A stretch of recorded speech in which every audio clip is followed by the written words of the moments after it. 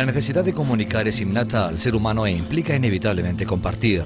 Este fenómeno de carácter social comprende todos los actos mediante los cuales los seres vivos se relacionan con sus semejantes para transmitir o intercambiar información.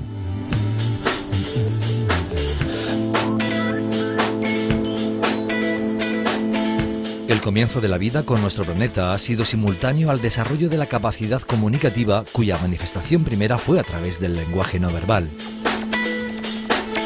Todos los días los seres vivos se comunican de modos diversos. Pero solo los seres humanos podemos hacerlo racionalmente y por tanto podemos desarrollar actividades tan diversas como conversar, reír, llorar, leer, ver televisión o incluso dialogar con nosotros mismos por medio de la comunicación intrapersonal. En nuestra actual sociedad de la información, donde los ordenadores forman parte de lo cotidiano, es indispensable que el proceso de transmisión y recepción de información entre estos sea eficaz. Las transmisiones inalámbricas constituyen una poderosa herramienta que permite la transferencia de voz, datos y vídeo sin la necesidad de utilizar cables para establecer la conexión. Este intercambio de información se logra a través de la emisión de ondas de radio y permite contar con dos grandes ventajas, la movilidad y la flexibilidad del sistema en general. La noción de la transmisión de información sin el uso de cables fue visto por nuestros ancestros como algo mágico. Durante 1890, eminentes científicos como Jagdish Chandra Bose de India, Oliver Lodge de Inglaterra y Augusto Riggi de la Universidad de Bolonia se encargaron del estudio de los fundamentos naturales de las ondas electromagnéticas. A raíz de estas investigaciones, en 1894, Guglielmo Marconi, premio Nobel de Física, comenzó a experimentar con las ondas de radio para enviar mensajes sin el uso de hilos. El mayor avance en sus investigaciones se produjo el 23 de enero de 1901, cuando desde Knighton hasta Bass Point se consiguió transmitir radiofónicamente un mensaje probando definitivamente que la distancia no era una barrera para enviar mensajes radiofónicos. El físico e inventor de origen canadiense Reginald Fessenden en 1905 realizaba la primera transmisión de voz y música vía enlace inalámbrico. 15 años más tarde, en el departamento de la policía de Detroit, da comienzo la etapa conocida como era precelular, con la dirección de maniobras militares desde radios móviles. La era celular de 1980 vino acompañada de la que se ha denominado primera generación de telefonía, protagonizada por la distribución de los sistemas celulares analógicos en el mundo. En la siguiente década, la tecnología digital inaugura la segunda generación celular, 2G, que aparece con el estándar GSM europeo. En la tercera generación celular se consigue hacer converger voz y datos con acceso inalámbrico a Internet, convirtiéndose en apta para aplicaciones multimedia. Hoy podemos concluir que la evolución de las redes de comunicaciones inalámbricas se puede clasificar de la primera a la tercera generación en base a los factores que la han determinado, los cuales responden en su mayoría a la oferta de nuevos servicios de telecomunicaciones más que a necesidades tecnológicas a través de un análisis de los nichos tecnológicos que pretenden cubrir las redes de tercera y cuarta generación, se muestra cómo las redes de cuarta generación son un complemento más que una sustitución de su generación antecesora. ¿Qué es MIMO? MIMO es el acrónimo utilizado en inglés para significar múltiple entrada, múltiple salida. Se refiere específicamente a la forma de cómo son manejadas las ondas de transmisión y recepción cuando se emplean múltiples antenas y no solamente una para dispositivos inalámbricos. En el formato de transmisión inalámbrica tradicional, especialmente en el entorno de las ciudades, la señal se ve afectada por reflexiones, lo que ocasiona degradación o corrupción de la misma y por tanto pérdida de datos. Mimo aprovecha fenómenos físicos como la propagación multicamino para incrementar la tasa de transmisión y reducir la tasa de error. Es decir, es capaz de aumentar la eficiencia espectral de un sistema de comunicación inalámbrica por medio de la utilización del dominio espacial.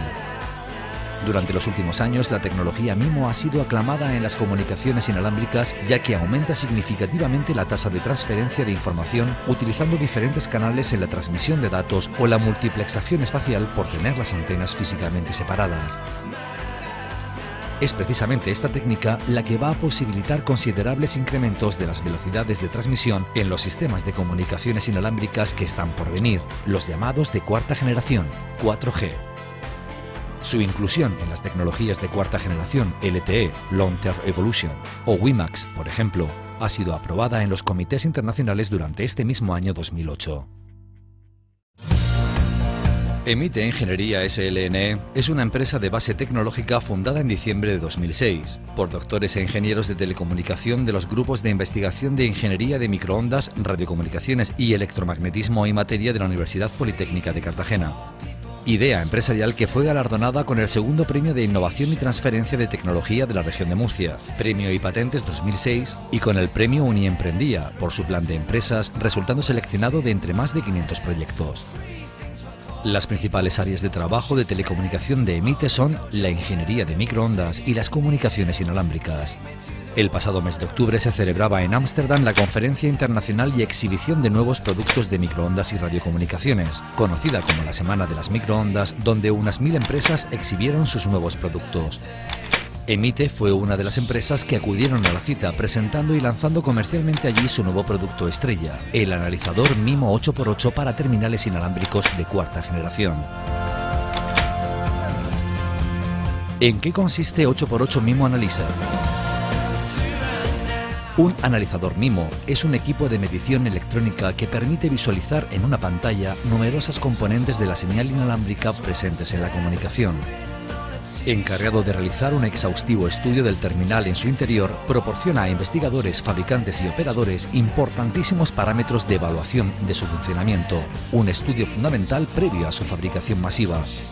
Cualquier elemento tecnológico de cuarta generación necesita múltiples antenas de entrada y otras múltiples de salida, la denominada tecnología MIMO. El analizador desarrollado por Emite, único hasta el momento en el mercado que dispone de 8 canales de entrada y 8 de salida, permite evaluar cualquier terminal de cuarta generación. Su principal función es la de testar el correcto funcionamiento de cualquier diseño para comunicaciones inalámbricas en las más variadas aplicaciones, cámaras de fotos, DVDs, iPod, con carácter previo al lanzamiento de su fabricación masiva. Para ello, este analizador proporciona hasta 30 parámetros de calidad, entre los que destacan los de máxima capacidad mimo potencial, eficiencia en la transmisión o ganancia de diversidad. Para detectar los diferentes aparatos conectados, 8x8 Mimo Analyzer cuenta con un software de control con una interfaz muy intuitiva, apta para que cualquier ingeniero lo pueda utilizar fácilmente. Es esta otra de las ventajas del producto murciano, ya que otros productos similares requieren de una destreza realmente importante del ingeniero de pruebas. Otro de los servicios que aporta este analizador es la capacidad de simular el comportamiento que el instrumento en prueba tendría sobre el ser humano. Para ello se puede introducir un maniquí humano con cabeza, hombros y mano y evaluar sobre el posicionador el entorno que se va generando. De esta forma se puede asegurar que los futuros terminales cumplan con la normativa de seguridad de la Organización Mundial de la Salud respecto de las emisiones radioeléctricas. El analizador desarrollado por Emite competirá en el mercado con los productos de dos empresas, Bluetest AB, multinacional sueca, y la estadounidense Kately. La principal ventaja que 8x8 Mimo Analyzer presenta sobre ellas es su propia filosofía, hacer fácil lo difícil. Mientras que para utilizar el equipo de la competencia hay que ser un verdadero experto, el de Emite es mucho más sencillo a la vez que ofrece más parámetros de medida, siendo el único que ofrece 8x8 canales y la emulación de cualquier entorno de propagación, tanto urbano como rural. En cuanto a precio, el producto murciano es tres veces más barato que el de la competencia, variando este en función de la serie de la que se trate. La administración murciana ha, sabido, ha tenido reflejos y ha sabido reaccionar a tiempo y ha concedido ayudas eh, rápidamente a la empresa de base tecnológica Emite Ingeniería, como spin-off que es de la Universidad Politécnica de Cartagena, para ayudarla en su lanzamiento comercial, ayudarla en su exposición, incluso con algún proyecto de investigación. 8x8 Mimo Analyzer es el resultado de cinco años de investigación, dos tesis doctorales y mucho esfuerzo que se han materializado en un desarrollo tecnológico único en el mundo un equipo de alta tecnología desarrollado por ingenieros de la Universidad Politécnica de Cartagena que crearon una empresa de base tecnológica ubicada en el Centro de Creación de Empresas e Innovación de Espinardo y desde el que con proyección internacional ofrecen soluciones hasta el momento únicas para analizar dispositivos de cuarta generación.